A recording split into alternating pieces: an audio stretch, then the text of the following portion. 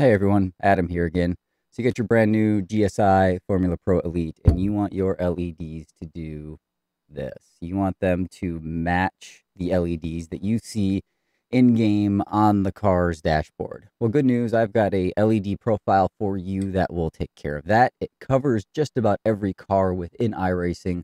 So if you do find a car that is not built into this profile, uh, let me know down in the comments below or message me over in the GSI Discord. I'm usually faster to respond there. If it's a if it's a quick, you got a race coming up, you need this car.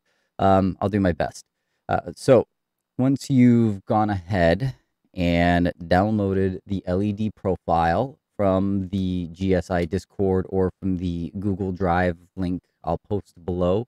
Um, I am going to post this in two places this time. Normally, if it's GSI, I just post it in the Discord but this profile will work with any 16 RGB setup. So if you don't have a GSI Formula Pro Elite like I do, but you've got an external dashboard that has 16 RGB LEDs, you can still run this profile with iRacing. It will match the car. Once you load it, there's nothing you need to do. You're good to go. So now that we're in SimHub here. I'm going to trust that you've gotten to the Discord or you clicked the link below and you downloaded the profile. The first thing we want to do is we want to come over to the Arduino menu and you want to click on My Hardware. Once single Arduino is selected, you just want to make sure that your device is detected right here. If it's showing up, nothing else you need to do.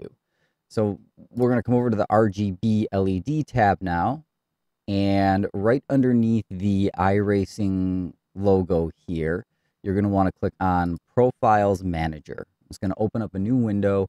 And this second to last icon that when you hover over, you get the import profile. We're going to click import. You're going to go to wherever you downloaded that LED profile. Just double click it, open it up. Now I've already done that. Now you're going to see it here. So what you want to do is you want to just click on GSI Formula Pro Elite, click load, and that's it. You're done. Your LED profile will now match the car in game to the wheel.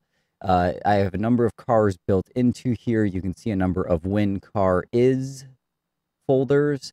And what this is doing is this is applying different LED sequences to different cars based on what you are currently driving in iRacing.